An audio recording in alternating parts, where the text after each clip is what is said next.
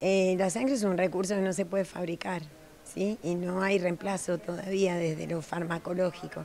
Entonces necesitamos y dependemos de la donación de, eh, voluntaria para poder salvar vidas. Entonces tienen que pensar que son protagonistas de esto, que quizás no lo ven, pero bueno, uno viene, dona un poquito de tiempo, dona un poquito de su sangre y eso va a servir para salvar vidas. Ir de la aprobación de la ley Educar Em, para salvar vidas y el día que se aprobó se propuso donar sangre y bueno, hubo una buena convocatoria y la verdad que hoy estamos muy contentos porque han venido muchos donantes.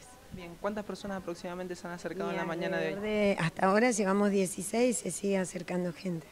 Bien, eh, por ahí es una problemática eh, tener sangre desde la parte de la dirección. Eh, ¿Cómo viene eso este año después de la pandemia? En realidad estamos estables con la, el, digamos, el volumen de sangre que ingresa, pero así como ingresa, sale permanentemente. nuestro objetivo este año es tratar, como estamos estabilizados con el aporte de donantes, de tratar de cambiar el perfil del donante. Actualmente la gente se acerca a donar y tiene mucha voluntad de donar cuando alguien le pide donar sangre para un familiar o un amigo. La idea es que empezar a cambiar la mentalidad de decir, bueno, dono voluntariamente uno o dos veces al año, no importa para quién done. ¿sí? Entonces estamos trabajando en eso, en la donación voluntaria. De las ocho colectas mensuales que hacemos, intentamos que por lo menos la mitad sean voluntarias. Bien, ¿cuál es el factor por ahí más ah, difícil conseguir?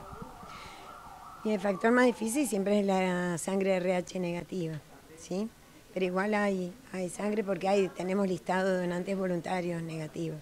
Bien, ¿van a haber más colectas? ¿Cómo sigue la agenda? Sí, ahora sigue Hacha, el Albardón, eh, va a haber una colecta en Santa Lucía con un grupo Scout. O sea, todas las semanas hacemos dos colectas mínimo.